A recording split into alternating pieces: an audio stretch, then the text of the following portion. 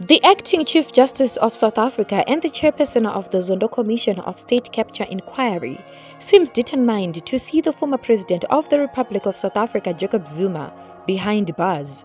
It has been reported by City Press that Deputy Chief Justice Raymond Zondo, in his capacity as chairperson of the Zondo Commission of State Capture Inquiry, had opened another case for former President Jacob Zuma for leaving the commission without approval. It has been reported that already Hawks have just started investigating that case. This is happening after the former president of the Republic of South Africa and African National Congress, Jacob Zuma, just got released from prison by medical parole.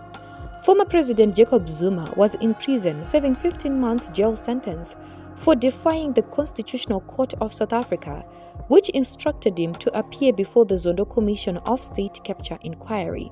It is clear now that the former president Jacob Zuma still have a long way to go because that is not the only court case he is facing but many of them.